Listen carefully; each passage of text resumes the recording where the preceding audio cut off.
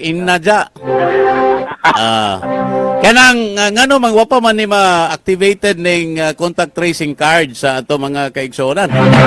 Ang uh, contact tracing card uh, sa kung naibawaan Sir Tada, Oh. ah kana ko nung ah, contact tracing card nga gipanghatag matag barangay uban sa tag 8 kilos nga bugas. Mm. Magamit ko no na inig-operate na atong mga ora bitag na ay ah, sensorized nga QR code nga imo harang nga tubang sa machine.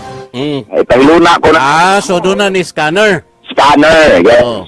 Ipascan mo tong imong card, Oh. ay pa ni mo ah, ay, sa ato pa wa pa ma-install ni mga scanners karon. Tingali wa pa tingali Sir Ted kay kini may giunang panghatag. Ya dugay naman kay ni nya basig mahuman na ning COVID di pa magamit na to ni tracing card. Ha? Na, naapoy nakuha na itong informasyon nga hulit ko nun is quarantine pass. Inigsod ni mong mall, is paskahan mo imong QR code, kato imong QR card, uh, matasod ka small or ka mga establishment nga mga pribado, lakip sa panggobyernong mo mga